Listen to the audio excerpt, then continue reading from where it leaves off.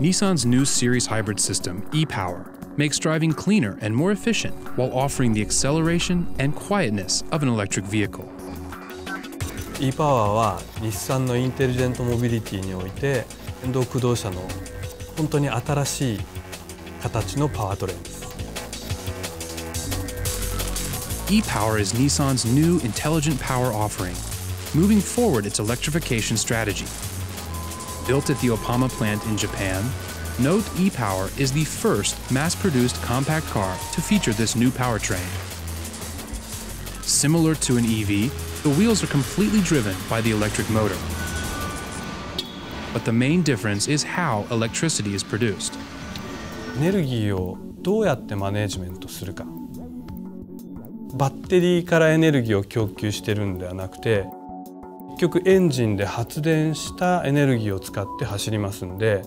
どういうタイミングでエンジンを動かしてどういうタイミングで効率よくエネルギーを作れば EV ライクに走れるのかっていうところに今回の e パワー出来上がったのかなというふうに思ってますね。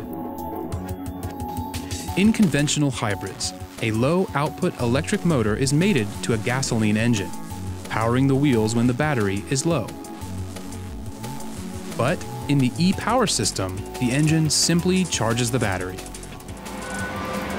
リーフのバッテリーに対して大体20分の1以下小さい容量ですので助手席と運転席の下に入れてで他の居住性はもう全く犠牲にすることなく一体化して収めてしまう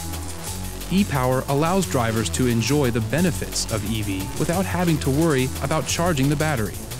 特に発進停止の多いようなところではモーターって浮力源としては非常にいいんじゃないのかっていうのと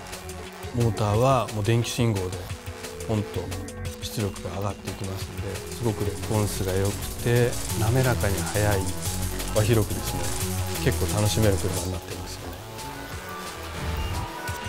e-Power technology aims to provide customers a gateway to 100% electric cars and further Nissan's pursuit of a zero emission society.